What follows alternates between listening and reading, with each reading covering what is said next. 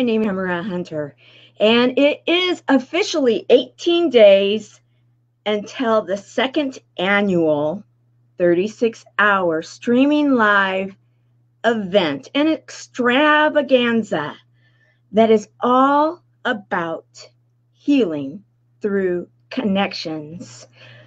I am the executive director and co founder of a 501c3 nonprofit that is absolutely dedicated to eradicate the feeling of isolation while facing cancer. We are putting on a show that is going to be the show of all shows. Uh, I am so excited about it. Good morning or good afternoon. We have Carol Brown, who is one of our ambassadors and co producers of the event of which I am talking about. So glad that you're here. Yes, this is a fundraiser. That is what it is. And I'm going to be talking about that today. So, good morning and thank you for the donations. In fact, I will say that we just recently received a letter, a card saying, and it says thank you here. And it is from some of the people from Canada it had their donations in it. So I want to say thank you also to those that donated. We have good stuff coming up a real big show, as they used to say at one time. Good morning, Helene, one of my chemo buddies uh, for life. She is absolutely an incredible, I, I, can't even tell you all of the um, uh, talent that this girl has, this woman has. Uh, she has been, uh, in, fact, in just a moment, I'm going to be sharing something if I can. I'm trying to get the image. I might not be able to share it today. Oh, no, I'm going to be able to. I'm so excited. Uh, we have an artist, we have a writer in our midst. In fact, let me just get it up right now. And so that you guys can see what it is that our buddies are doing. This is from Helene. Let me go to it. Helene, there you go. Helene created this 3D image because yesterday I spoke about color and the cancer colors and the color that we picked of the purple. And look what she did. She translated it into a 3D image, healing through art. I am just absolutely blown away by that, uh, Helene. And yes, thank you. Hashtag alive. I want to say thank you for that image. And I have already asked permission. We are going to, on our new blog, we're going to include the image and some of her writing together. I'm so excited about it because, you know, we are a community. That is what we are all about. We are building a buddies network. We're going to talk about that. We are building it throughout the world, one buddy at a time. And that's important to understand. A global network of buddies, one person holding a hand, if you will, with another person throughout the world. How can I be so clear on this vision? Well, let me tell you, sometimes I wonder, but I am. And anybody that's working with me knows it. Well, you thank you, I guess. You're welcome too. I love it. I love it. We are building a worldwide network that is based on the simplicity of how important one is, and then another one, and then another one. And so that we are all joining together to take the scary out of cancer and kick it to the curb. We are taking the power back, and we are doing that through the healing of connection. connection. It's huge. And for too long, I think it's been overlooked. There, social media is what's allowing this. Let's be honest, guys. Had this been a concept back in the 1940s, the 1950s, the 1960s, I could keep going. This would be a really, really wonderful idea, but how would we go about it? It took until now for the technology to be as it is so that we can affect the world through the internet. Here. Because it has been proven that our mind will recall the discussion. However, it will have a hard time recalling if it was face to face in person or face to face over a digital platform. So you see, we can affect each other. We can help each other. We can heal through connections through the World Wide Web. It's that easy. And yet it's not. We are, though, determined to impact the world one buddy at a time. So we are having a 36 hour event on Giving Tuesday. It is starting on Cyber Monday, which is December the 2nd, and it will be continuing for a full 36 hours live, streaming live throughout the world. And today we're going to talk about how fun it's going to be. I'm going to start by doing this. I'm going to highlight today's volunteer she is actually a volunteer for the day of. Many people will recognize um, Megan Fenyoe. She is the founder of I Am Enough movement. And she and I have met. In fact, the very first time we ever got to see each other, and this is a full circle effect, guys. The first time we got to see each other face to face, I was interviewing, I was the reporter on the red carpet, one of the reporters at an Academy Award after party. Yes, that's when I got to um, interview many people, including uh, Wesley Snipes. And it was the very first time that I had gotten to meet Megan in person.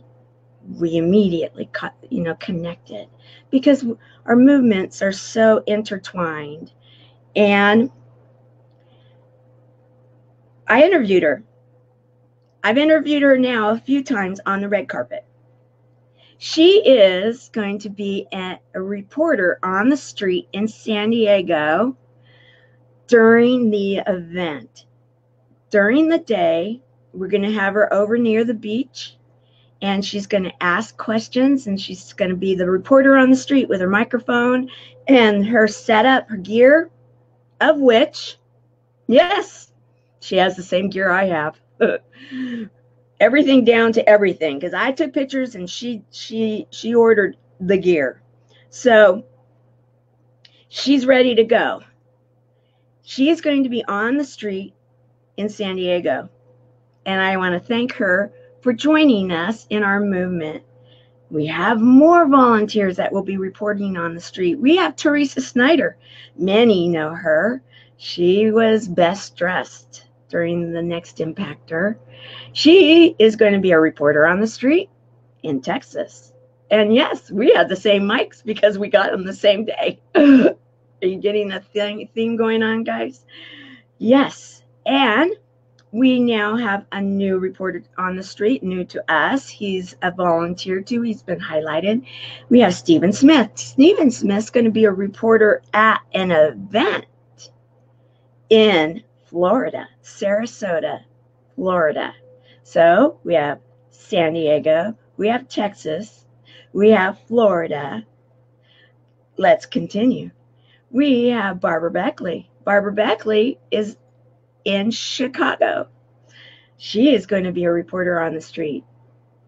We have Misty Lane. Misty Lane is going to be a reporter, I believe, on the radio representing us. She is also our board vice president of the executive board. vice president of our executive board. She will be re- representing us. Let's continue. We have Loren Harris. Many recognize this man. He is a top speaker. He has a viral um, uh, video out there that's, I believe, gotten now into the millions. I don't want to overstate, however. A singer, a recording artist, yes, one of the founders of the program that I won. And he will be hosting a live event in Chicago at a comedy club featuring some of our volunteers and friends. That will be uh, an open mic situation entertaining us live during the event.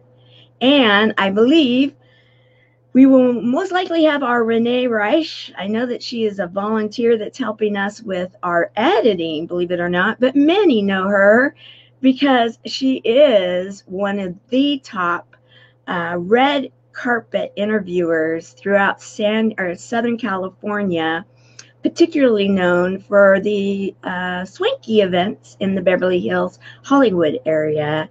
And I have a feeling she'll be helping with us too.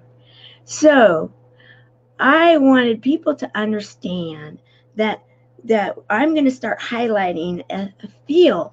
I'm not going to give it all away, guys. You got to show up. And you need to understand that this is a fundraiser because we are preparing to go global. And to do that, we need funds. We are we have gotten to this point with volunteers. However, now that we're building and we have people coming, it's time for us to have the programs. And think of it this way. I was I've been busy this morning uh, getting people ready and uh, Oh, we've got Aaron here. Good to see you. I'm glad you're laughing. Love it. Love it. Uh, yes, daily dose of laughter around here. It's it's it's it's a necessity. We remind each other every day. Have you had your daily dose of laughter? If not, go out and find it. Life is too short, and you gotta have fun. And so we do. Here at the Buddies Network, we believe in fun. We believe in healing through connections. We believe in healing through humor, hope, and heart. We are going to be having segments on healing through comedy, music, art, nature, health and wellness, inspiring stories, hobbies, so much. We are dedicated to eradicate the isolation for those that are facing a six letter word that has had too much power. We are kicking that power to the curb and saying, no more. We're in town. The buddies have arrived. Someone said that was an elementary school kind of a name at one point. You know, I'm okay with that because cancer is a slippery sucker, as my oncology surgeon says. She does. She's funny. I love people with humor. She's like, yeah, they're slippery suckers, those cells, yet we can beat them. I agree with you. And that's exactly what we're doing. We need you to engage. It's time. I've been working on this for a while. A lot of people know that. My friends have been wonderful, supportive, cheerleaders, saying, Go, girl, go. Now it's time to step up and help with your wallets too. Because think of it this way I was explaining it to a particular type of a, let's say, service industry. I won't give it away right now talking about how I want to have a representative that been ta- has been talking to me and wants to get the message out there. Want to get the permission for them to be able to be on site to have their industry represented and to be able to talk clearly about the fact that cancer is something that they deal with. It happens. There's a lot of industries that are out there, unfortunately, guys. Think of a community where, let's say you're, I live in Southern California, let's say you're in Long Beach, let's say you're near the docks, you're a dock worker, and you've been diagnosed with cancer. There might be some dock workers support groups, but you have to drive there, you got to go there, you got to go through treatment, you got to try to keep your job, try, try to keep your insurance. It can be overwhelming. What if there's a group in a community that's online and you can go to that group and you can meet others from that group, others that you can talk to. And let's say there's the group for the patient and there's the group for the family member. And they meet at different times. Yes, using the digital platforms so they can be on their phone, they can be driving, they can be, as long as it's hand free, yes. They can be in their bed with their jammies on. And if they're like me and they have no voice, they can participate by listening. You get where I'm going? You see what I'm seeing? You Yes, I explain it like a matching site comes to the cancer world. We have that too. But when you start drilling it down, how will the how will we support? How will we support throughout the community because that's what we're building, a movement, a community. The possibilities are endless we will be huge. However, to build anything, it requires funds. That's the way the world works. So we are out here and go to Instagram, go, go and, you know, go and look, go back to these shows. Look at the quality of the people that have come to volunteer their time. And if we were to add up each person's time in a week, we figured it out. Many people are volunteering almost another full time job worth of hours because they see it and they believe it. Because this is real. We're building it. We need you. Our goal is huge for us because this is a second annual. Next year, it's going to be huge, and we are going to own Giving Tuesday. There's no doubt in any of our minds. It's going to be ours. Get involved with us now. We want to help your business to be successful. Thus, your business is going to, in turn, help our community serve those that need it, need it, need this platform. So let's do this. We have a lot of fun. Anybody that shows up knows that. And I'm seeing some really awesome relationships starting within the volunteers. I have a feeling that there's going to be business ventures going forward. I want that. Isn't it time, if you will, for the little guy to succeed? For the big guy to succeed? For it to be a fair and even playing field? Yeah, it is. And that's what we are creating. We are creating a community for us, for the buddies, for those affected by cancer.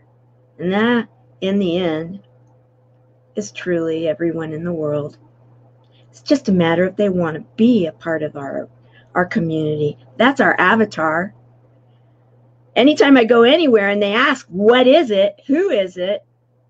How do you say, everyone? That's what it is. Yet, we don't have to be overwhelmed because we bring it down to the one. It's all about the one, the one in the night, the one that has heard three words no one wants to hear, too many are. You have cancer. I know.